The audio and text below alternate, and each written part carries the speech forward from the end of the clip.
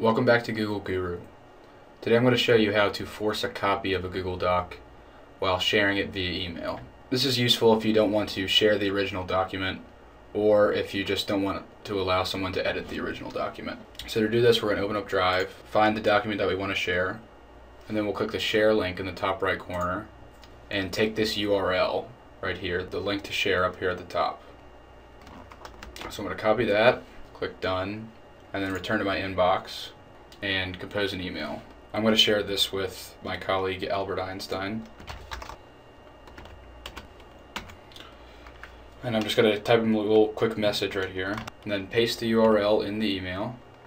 So after you attach the URL, you want to add and new copy equal sign true to the end of the URL. This is what will enforce the copy when you send it to the person. So I'm going to go ahead and send that.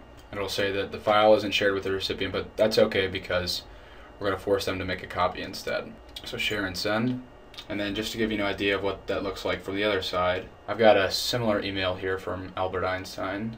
I'm going to open that and click on the link. And you can see that the URL has that same text at the end. Open it up and it'll say make a new copy of this document. So yes, make a copy.